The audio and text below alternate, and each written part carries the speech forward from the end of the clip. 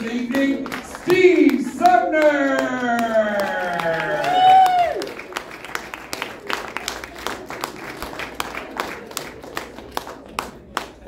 Oh man, I, I feel like she thinks they cut her off for time, but it was actually the material. I don't know. I'm sorry, I'm sorry. I apologize to people in the back. There's no one there.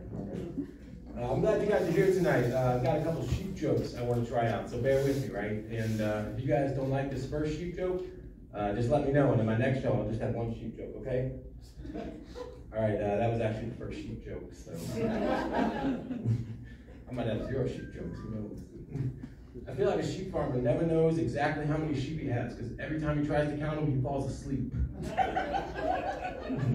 hey, if you guys come to my next show expecting sheep jokes, you're going to be uh, disappointed. Yeah. I gave that up cold turkey at Liberty. It didn't work well. Yeah. Man, I like to make fun of sheep because sheep are dumb, right? People like to make fun of sheep until it gets cold, and they're like, dude, can I borrow your sweater? Oh man, I don't know much about sheep farmers, but still I think they're racist because the first thing I learned about sheep was not to like the black one. that, that one will settle in later. Oh man. Uh, if you want to know how dumb sheep are, when they started cloning animals, they started with the sheep because after all, what's the worst thing that could happen? He grows extra socks. Yeah, I told you I had two sheep jokes, and uh, that's true because the last two were about fleece, and that's completely different, actually. That's bull. It's totally different oh, man. Uh, guys, I used to be nervous to do stand up, and then one day it dawned on me I'm literally not good at anything. Why would I be nervous about just this? you know what nobody in their 30s who's really good at something says? You know what? I think I'll try stand up. I bet you that pays beginners really well.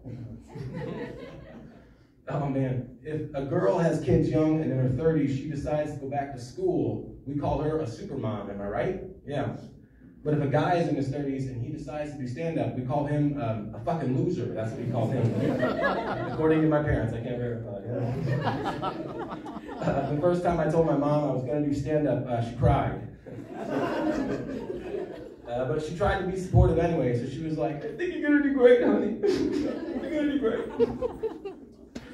Uh, man, it's okay if I tell jokes about my family, because I'll be honest, I don't think they were proud of me in the first place, you know? uh, I'm, the, I'm, the, youngest of four. I, I, believe I was the insurance baby, right? Except none of my siblings died, so they were like, fuck it, we got an extra. What do we do? uh, what if we just ignore him? What's the worst thing that could happen? He tells jokes. oh, man, I'm sorry, all right? She's not dead. She just wishes she was. I'm sorry, guys. Oh man, yeah, thank you for that one laugh. I appreciate it. thank you, Dad, for showing up tonight. Oh man, see, I didn't tell you guys. Uh, I have one brother and two sisters, uh, but they have um, a brother. Hey, is that your brother? Tell me. Yeah, that's my brother. Yeah. See, I grew up with a brother and a sister, but they grew up with. Shh, yeah, that's my brother. Keep it down. Keep it down.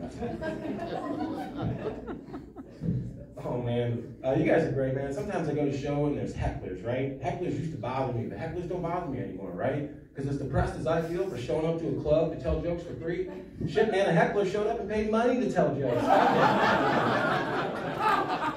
I'm getting a bargain, man. I'm doing this shit for free. You don't even know. All right, we put that on the highlight reel. That was good. Oh man, when I get heckled, uh, it's usually pretty predictable. Uh, if you're a guy with long hair, this guy feels me. Uh, people generally go one of two directions, right? The first direction is like, hey, look at this guy. He doesn't shower. I don't know why, right? Long hair, that's where they go, right? But then if you defend yourself and you're like, that's not true, I shower, they're like, hey, look at this guy. He's gay. but that one's less offensive because I actually do take showers, but you know. Stop it, stop it. I'll leave right now. Oh man, how many of you guys are excited to be here tonight? Let's hear it. All right. All right, that, that's the appropriate amount of cheering. If you guys cheer too loud, I would just leave because I don't want to disappoint you. you know? I saw somebody taking pictures earlier, and I was like, ooh, I don't know if that's a good move, man. I don't know if this is a picture night, you know? I don't know if it's going to be that memorable, right? Wait till they get the fountain going. That's probably a lot better. I'd wait for that. Man, as a guy with long hair, there's a second way people heckle you after they tell you that you might not have showered and you might be gay, right? That's the second way, right? But I don't take gay as an offense anymore, right? Having long hair for a while, I'm used to it. If someone calls me gay now, I don't even take it as an insult. I take it as a compliment, I'll be honest, right? Someone calls me gay now, and I'm like, you're right, I did plan this outfit. How did you know? What's that you say, gay? You're right, my curls do look good today. I can't believe you noticed. Oh man, being a gay guy can't be all that bad, right? There's got to be some pros and cons to being a gay guy, am I right? Like on the one hand, guys are disgusting, am I right? But on the other hand, guys are disgusting. guys probably do all that stuff say Hey, do you mind okay? What if we try Fine by me? I imagine gay dudes aren't getting the stop sign very often. I think everything's on the table. Oh man, that's too much. I can't believe who gave me a microphone. Being a gay dude is like getting a video game system before everybody else. By the time it comes out to the public, shit, you're already an expert, man. You got one of these at home, been playing with it for years, showing what's up, right? Girls, I bet guys know some cheat codes that think you don't know. That's all I'm saying. That's all I'm saying. It's too much, you know. Oh man, guys really are disgusting. Gay or straight, right? We're all disgusting, and I just embrace that, right? It's true, right? In fact, I know some guys that are so disgusting, they could have the prettiest girlfriend in the whole world, and they will still sleep with an ugly girl just because they're married to her. It's ridiculous. oh man, that's enough about my life. Let's move on, all right? Oh, Jesus Christ.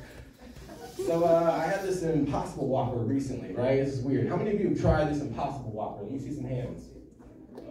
What is wrong with you? Oh my God. Oh man, that's fair. Me too. I agree with you. This Impossible Whopper is weird, right? Because we don't know what that is. That's a burger, but it's not a burger, right? Because instead of meat, they made something that looks like meat. That means somewhere out there, there was someone that didn't like meat. They were like, is there any chance you could make my sandwich look just like meat? I call the Impossible Whopper the lesbian of the sandwich world, and I'll explain, right? I call it the lesbian of the sandwich world, right? Because lesbians are disgusted by men. Ugh, men, but the last their girlfriend, is there any chance you look just like a guy? oh man, we'll let that one sink in. Uh, hey guys, I saw a girl with purple hair today. I'm not sure if it was natural. I didn't ask. it's too much. Oh man, any purple hair girls in the audience tonight? Nobody? All right, good, because you're not going to like this next joke. I feel like dyeing your hair purple is a decision very few hot girls are making. It's true. It's true, right? I think dyeing your hair purple is admitting you're not a 10, but with a little shading, you can make that 6 look like an 8. oh man, they say a dog is a man's best friend, but that's weird because I don't make any of my other friends shit in the yard, am I right? Some guys call their, their wife their best friend. So my wife asked me, Am I your best friend? I told her the truth. I said, No, not even close, honey. she said, Why? I, I said, Because you use the toilet, bitch. We know the rules. That's why my friend Neil is my best friend. That guy pisses outside all the time, man. It's ridiculous. Oh man, usually at this point the show people are throwing things, so I don't know what to do at this point. It's weird, right? Uh, instead, I'll just give it up. I didn't even flash like this girl. I think she took all the flashes for all of us. hey, they say if you're really good at something, don't take too long doing it. So remember, my name's Steve Sumner, guys. Thank you for coming out tonight. Thank you. You go to Steve Sumner, everybody. Coming up next to the stage, very funny, Mr. Godfrey, your favorite play cousin.